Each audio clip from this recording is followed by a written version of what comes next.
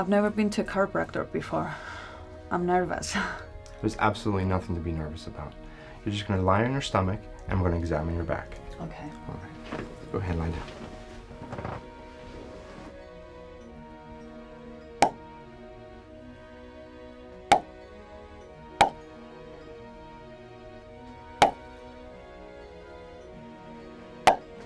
Mason, come on, man. You're freaking out the patients. Sorry.